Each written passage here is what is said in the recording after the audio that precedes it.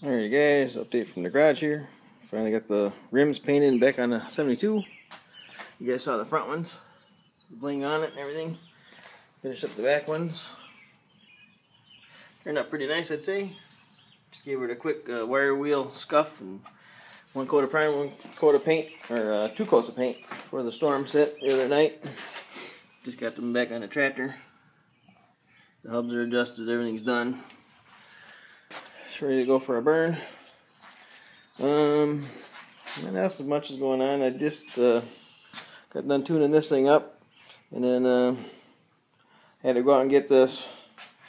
I've been doing flower beds with the spade, and I said, why the hell am I doing these with the spade? I need to get a rototiller, so surfing Craigslist, and this thing popped up, 100 bucks. So I shot over there and got it last night. Um, just got done it's been sitting for a while, so I just got done. Uh, I washed it, cleaned it up, and everything. Of course, you got to wax it when it looks that nice. Uh, she cleaned up really, really good. A uh, little three and a half horse, I believe it's 24 inch uh, tine weed eater brand. Hadn't seen much use. Came from an older fella, so paint's really, really nice. Cleaned up pretty good. Um, three and a half horse Briggs. It's running kind of choppy and crappy.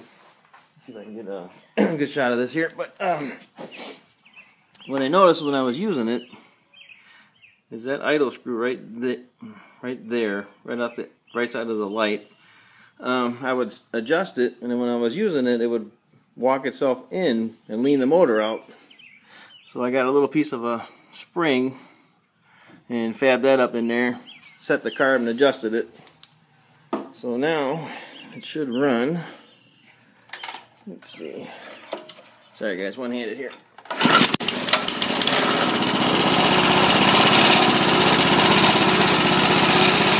It runs really, really good.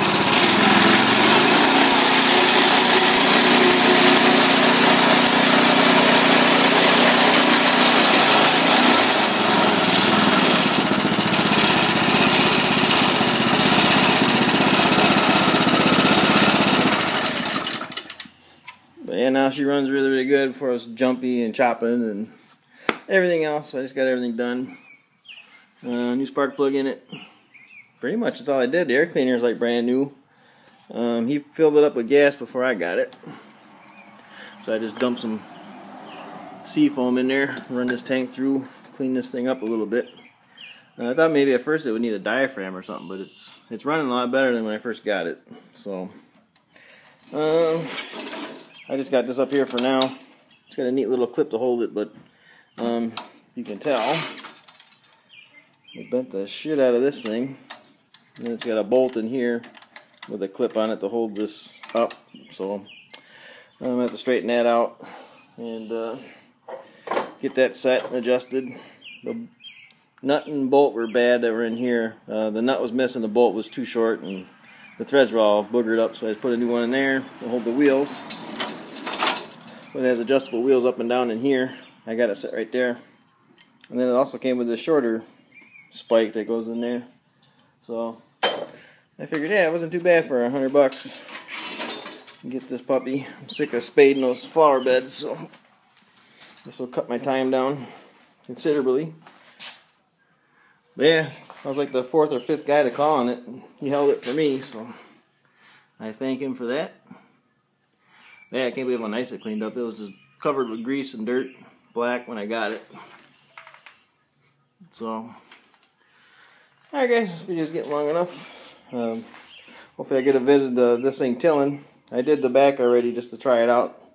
And I'm do another one tomorrow when I retail it. So, other than that guys, not too much else going on.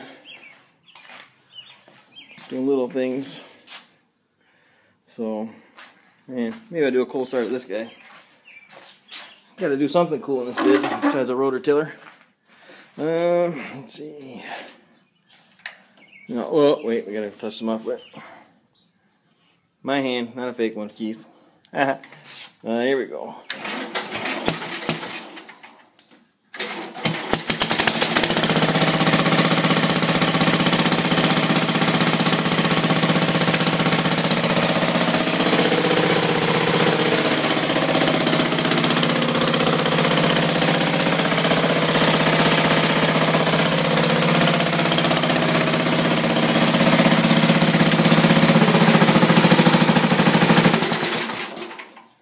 Alright guys, there we go. We'll talk to you later.